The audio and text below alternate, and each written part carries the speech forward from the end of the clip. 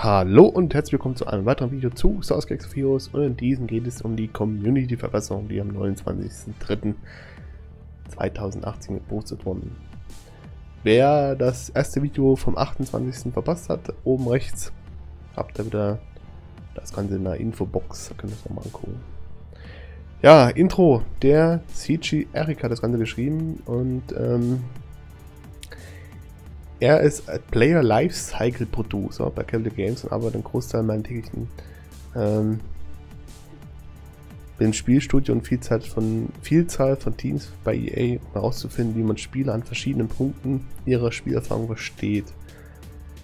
Und stellen sicher, dass wir ihre Bedürfnisse adressieren. Hm. Der ist tatsächlich äh, sehr aktiv bei uns jetzt im, im, äh, im äh, Game Changer Chat. Ja, wir haben ja auf Discord einen eigenen Server, wo äh, ja, die, die Crosby Spoon mal zwar gelesen hat, aber viel geschrieben hat sie nicht. Aber er ist zum Beispiel, er schreibt jetzt auch viel liest auch viel und geht auch viel auf unsere Vorschläge und Probleme so mit ein. Äh, das finde ich super, dass er das macht. Und äh, ja, der ist also jetzt da ziemlich aktiv. Äh, ja, dies bedeutet einen Ausgleich zwischen Dingen, die für ältere Spieler und neue Spieler gedacht sind. Free-to-Play-Spielen und Wahlen, also die, die Wales, ja, und allem dazwischen.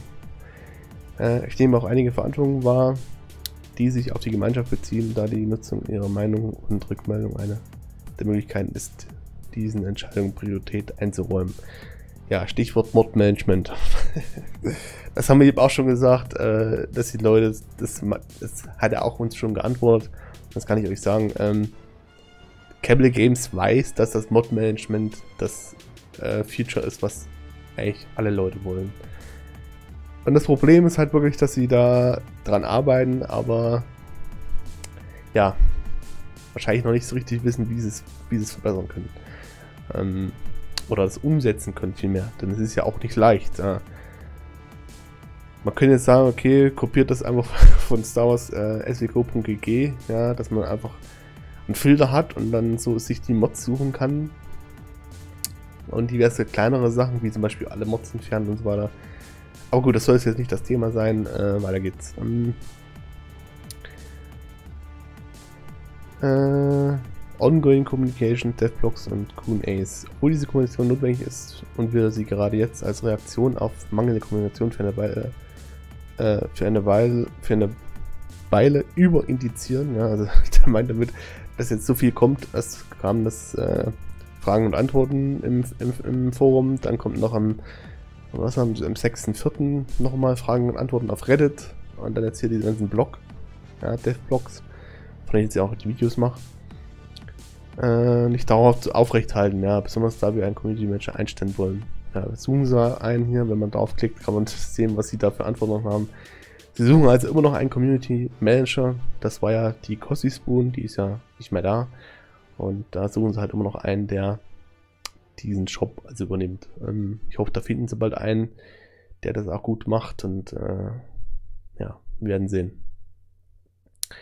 Wir haben eine Menge von dem letzten QA gelernt, äh, obwohl es kurzfristig war und nicht zum besten Zeitpunkt. Ja, wir wussten davon auch nichts. Vielleicht werde ich davon nochmal einen Livestream machen und werde das Ganze in einem Livestream nochmal mit euch zusammen übersetzen. Hatte ich jetzt so vorhin beim Durchlesen ja die Idee gehabt. Ähm, hm, sehen vielleicht sogar heute Abend, am Samstag oder am Sonntagabend. Mal sehen, wann denn so wir das machen werden. Ähm,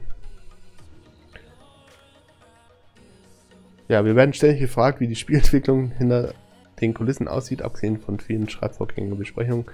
Zu diesem Zweck erkunden wir Ideen wie Videoentwickler, Tagebücher, Interviews, B-Roll. Wir würden gerne mehr darüber erfahren, was Sie in den unverlinkten Threads sehen möchten. Äh, da meinen Sie hier, da schreiben, glaube ich, schon einige Leute rein.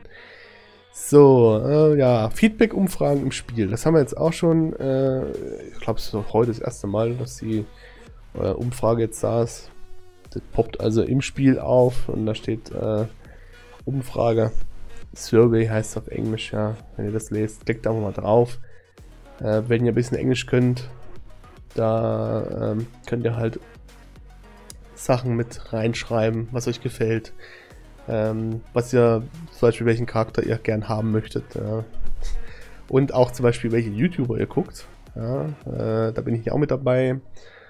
Und äh, wäre schön, wenn ihr da auch draufklicken würdet. So, ähm, falls ihr mich natürlich guckt. Aber ich denke mal, wenn ihr das Video hier guckt, dann könnt ihr da auch draufklicken. So, hm, ja, also jeden Monat führen wir eine Kundenzufriedenheitsumfrage durch. Das ist ja das, was jetzt äh, noch gekommen ist. Äh, um Feedback darüber zu sammeln, wie, äh, wie wir als Spielteam vorgehen, Verbesserungsbereiche zu identifizieren und einen allgemeinen Impuls für die Gesundheit und Gemeinde der Stimmung zu bekommen und ob wir einen Aufwärts- oder Abwärtstrend haben seit dem letzten Monat. Ja, das ist, das ist an sich nicht schlecht. Allerdings ähm, würde ich sagen, wenn das jetzt jeden Monat gemacht wird, irgendwann werden die Leute das einfach nicht mehr machen wollen.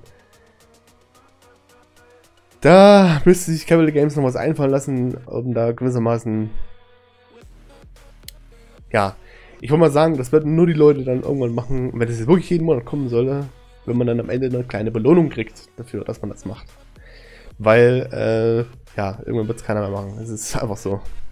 Wenn ich jeden Monat diese Umfrage sehe und es ist immer dasselbe drin stehen, vielleicht ab und zu mal ein bisschen was anderes, äh, was da gefragt wird, es wird irgendwann keiner mehr machen. Das ist aber so. Ähm, das, das, ist aber ein Fakt. Ja. Das, da müssen sie eventuell, das müsste ich den, dem Erik mal schreiben, dass sie da eventuell einen kleinen Anreiz geben müssten, um äh, diese Umfragen ähm, ja, dran teilzunehmen. Ich meine, es werden immer welche Leute geben, die, die das machen, und, aber äh, irgendwann wird es halt immer weniger. Da bin ich fest von überzeugt. Äh, genau. Oft haben die Rückmeldungen aus diesen Umfragen einen direkten Einfluss auf das, was wir für das Team als nächstes oder als Verbesserung priorisieren. Ja, ich habe zum Beispiel bei ähm, welches, äh, was man am besten, oder was man, weiß nicht, jedenfalls irgendwo mal gefragt wird, was man verbessern soll, ja, oder was, was man als Future haben möchte, oder was verbessert werden soll, habe ich Mod-Management reingeschrieben. Das würde ich jedem empfehlen, schreibt da Mod, das Mod-Management rein, dass, dass die da endlich mal, was weiß ich, das halbe Team dran arbeiten lassen und in dem Monat, was weiß ich, nichts anderes machen und einfach mal dass endlich was passiert mit diesem Mod-Management, weil es ist einfach nur nervig, keine Ahnung. Mods zu managen in dem Spiel ist ein Graus. Einfach nur ein Graus. Ähm, äh, suche Ingame Pop-Up, das morgen starten, das ist wissen. Ja, genau, das ist also am 30. kam das. Ich habe es aber erst gestern, äh, erst heute gesehen. Also ich weiß nicht, ob das... Ja gut, äh, andere Uhrzeiten und so. Also bei denen war das wahrscheinlich dann egal. so, genau. Also die Umfragen. Die sind jetzt im Spiel. Die kommen jetzt scheinbar jeden Monat. Mal sehen. Ja, die Spielwechsler. Die Game Changers. Ja, das sind wir ja, da bin ich ja auch einer davon.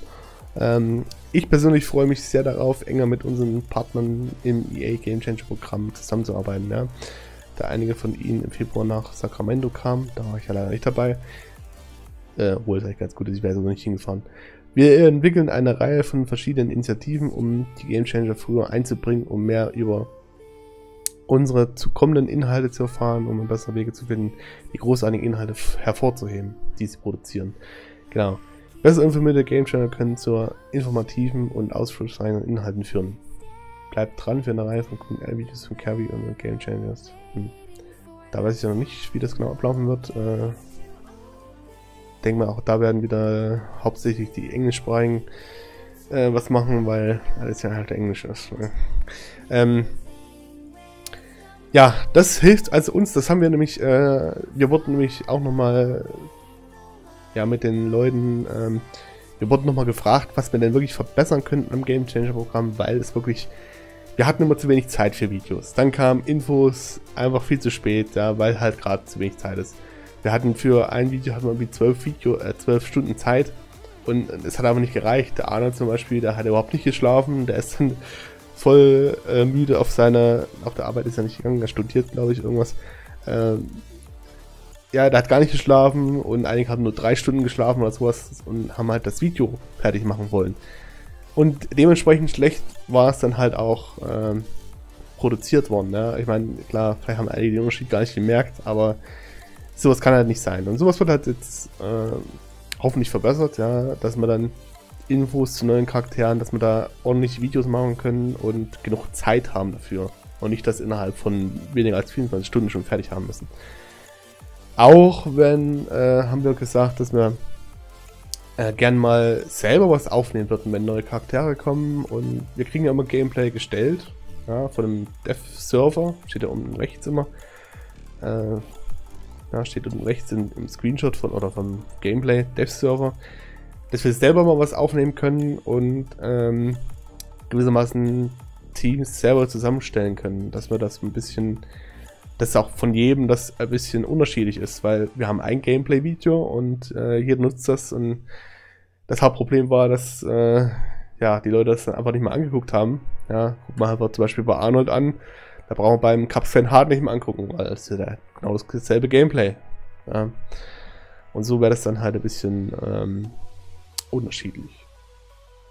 So, und dann zu guter Letzt haben wir jetzt hier noch das Beta-Programm. Äh, da könnt ihr euch anmelden, ja, wenn ihr draufklickt die Seite verlassen. Das habe ich schon auch mal gemacht. Äh, ja, ihr habt already taken the survey. Ähm, da müsst ihr einfach nur euren äh, ja, euren Accountnamen vom Forum angeben. Ähm, da müsstet ihr natürlich dann auch einen Accountnamen haben. Also mir das jetzt hier Leonardo. Den habe ich einfach angegeben und dann werdet dann eventuell in das Beta-Programm aufgenommen. Das hatten sie jetzt hier für die Territorialkriege gemacht. 14.000 Spieler haben teilgenommen. Und äh, ja, das werden sie jetzt wahrscheinlich öfters machen. Weil es, es ist an sich nicht schlecht. Ja, ich hatte bei den Dunkelseite-Territorialschlachten, die hatten Probleme. Dann bei den Territorialkriegen, die hatten auch Probleme. Und sowas kann man halt verhindern, indem man halt Betas startet. Ja, indem man sagt, okay, wir machen jetzt hier ähm, Betas für bestimmte neue Spielmodi. Für ein Raid wird das wahrscheinlich nicht funktionieren weil äh, ja, die Leute halt mehr so, ich weiß auch nicht. Bei Raids ist halt, man müsste es ja wirklich machen, aber die Leute sollen halt überrascht werden, wie das da Ganze aussieht da und nicht das Ganze in der Beta dann schon sehen. Bei anderen Spielmodi wie den Territorialkriegen oder Territorialschlachten und so weiter ist das vielleicht nicht so wichtig, aber so ein neuer Raid, der ist natürlich so, hat dieses Gefühl, dass ähm, hat irgendwie ein anderes Gefühl als so ein, so ein Territorialkrieg oder Territorialschlachten, ja keine Ahnung, liegt irgendwie an der, an der Machart des Spielmodus. So, ähm, ja, das war's eigentlich. Also viel mehr ist jetzt nicht drin. Community-Verbesserung, ja. Es kommt also einiges auf uns zu und sie sind jetzt, ich, ich habe das Gefühl, sie wollen es sich besser in die Community einbringen, mehr drauf eingehen, was die Leute so verlangen und so, so schnell wie möglich diese Sachen einbauen, die am meisten verlangt werden. Ja, ich hoffe, das funktioniert da ganz gut und diese Umfragen, wie gesagt, ist schon mal nicht schlecht, dass man da reinschreiben kann, was man denn gerne haben möchte und wie man das Spiel gerade findet und so weiter. Ähm, das ist nicht schlecht, das ist schon mal ein guter Schritt und das mit den Game Changern, dass wir da ähm, die Videos besser machen können, indem wir einfach mehr Zeit haben und vielleicht auch besseren, äh, besseres Gameplay haben und so weiter, mehr Informationen. Das ist immer gut. Ja, es ist, hilft uns, es hilft euch, es äh, ist dann besser zum Anschauen. Und Beta-Programm hilft allgemein, sollte eigentlich jedes Spiel eigentlich haben, Beta-Programme, ähm, wenn neue Spielmodi eingeführt haben. Und die meisten Spiele haben das ja eigentlich auch. Ja, wenn man an die ganzen MMOs oder Mobile Games denkt und so weiter. Also jetzt nicht für Handys und so Kram, sondern eher für, wenn ich zum Beispiel an Warfare denke, World of Tanks, ja, habe ich lange gespielt, für World of Warcraft habe ich auch lange gespielt. Da gab es immer Testserver, wo man bestimmte Sachen testen konnte und so werden halt die meisten Fehler, die dann eigentlich wirklich dann, wenn man das nicht beheben würde, im Live-Spiel extrem auf, den, auf die Nerven gehen würden und, und äh, einfach Spieler vergrauen würden, weil das halt nicht behoben wurde. Ja, so wird das halt, ja, verbessert. Wird das halt behoben, bevor es live geht, bevor es alle Spieler sehen, sondern nur bestimmte Spieler, die jetzt hier sich da angemeldet haben. In dem Fall bei den Territorialkriegen waren es 14.000 Spieler, ja, die sehen konnten. Äh, trotzdem hat's, trotzdem war es ziemlich verpackt. Ja. also es, äh, ja. Aber na gut. Aber das wurde auch erst verpackt, nachdem äh, es live war. Von dem her lag das nicht daran, dass das Beta-Programm schlecht war. Naja. Ähm, ja. Wie gesagt, das war's und äh, Wir sehen uns dann im nächsten Video wieder, was vom 30.03. sein wird. Bis dann. Vielen Dank fürs Zuschauen und ich hoffe, das Video hat euch gefallen. Über einen Daumen nach oben und ein Abo würde mich natürlich sehr freuen. Macht's gut und bis zum nächsten Video.